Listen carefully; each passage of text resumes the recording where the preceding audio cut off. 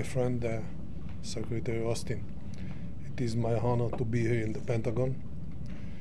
Uh, Mr. Secretary, since uh, Hamas launched its brutal, brutal attack on October 7th, you were the first to fly to Israel on October 13th. Uh, you stood with us then, and you stand with us today. The people of Israel will never forget uh, these moments. Uh, the President, the administration, and you personally, Mr. Secretary, have been with us since day one.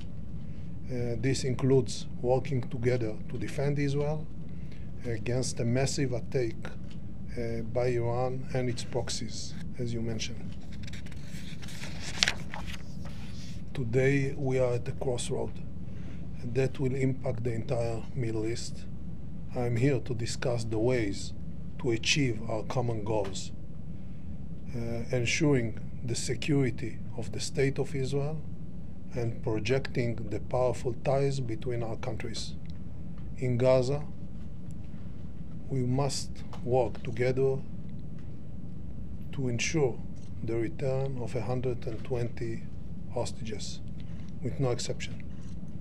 We must end the terrorist regime of Hamas.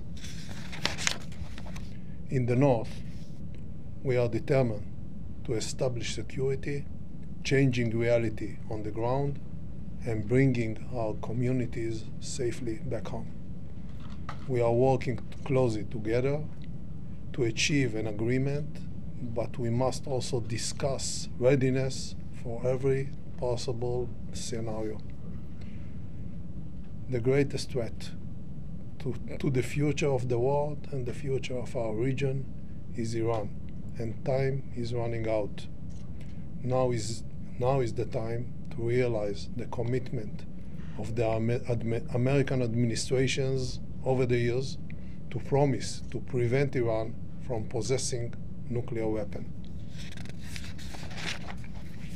Above all, we must discuss our extraordinary ties, projecting power together discussing areas of disagreement as friends do, and standing strong together in the face of attacks, from missile attacks to diplomatic attacks on the global arena. Our friends and our enemies see this room and understand our power.